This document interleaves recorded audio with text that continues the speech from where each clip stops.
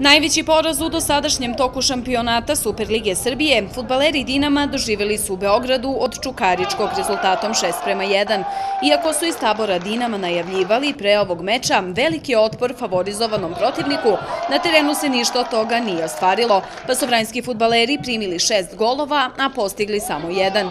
Čukarički je poveo golom Stojanovića sredinom prvog polovremena i rezultatom 1 prema 0 završen je prvi deo meča.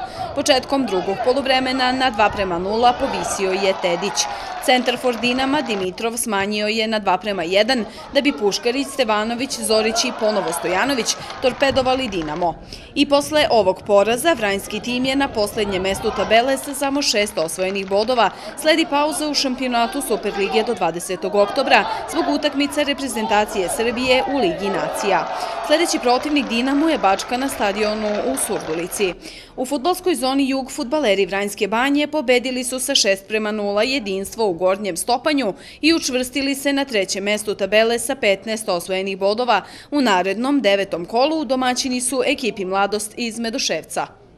Rukometaši Vranja 1957 šampionat u Super B ligi počeli su po sistemu toplo-hladno. U prvom kolu poraz pa pobeda na domaćem terenu da bi sinoć izgubili u Novoj Varoši od Zlatara rezultatom 29 prema 26.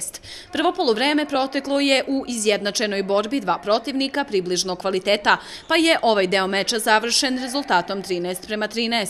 Domaćin je do bodova došao u finišu meča, kada su rukometaši Zlatara bili snalažljiviji pred golom Vranja. Vranjanaca.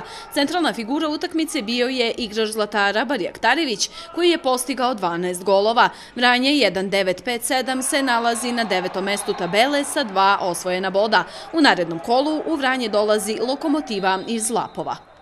Prvu pobedu u šampionatu Prve lige Srbije ostvarile su odbojkašice Vranja u Valjevu nad istoimenim domaćim timom. Na ovom meču Vranjski tim je slavio sa 3 prema 0 u setovima, ali su prva dva seta bila prava rezultatska klackalica. Presudilo iskustvo vranjskih odbojkašica koje su prvi i drugi set dobile identičnim rezultatom 26 prema 24.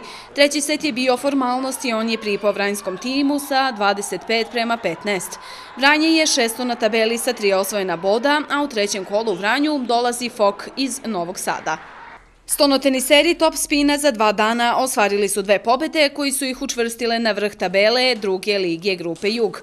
Posle pobede nad Dubočicom u Vranju savladali su i Đerda Pukladovu rezultatom 4 prema 1 u partijama, a sledeći meč Vranjanci igraju 27. oktobra u Vranju sa radničkim iz Pirota. Košarkaški klub Jug Basket iz Vranja istupio je iz takmičenja u prvoj regionalnoj ligi Grupa Istok. Posle dve neodigrane utakmice kao domaćin protiv Radnika iz Surdulice i Dimitrovgrada usledila je automatska eliminacija kluba iz spomenutog takmičenja po pravilniku Košarkaškog saveza Srbije. Tako se posle skoro pola veka u Vranju neće igrati senjorska košarka.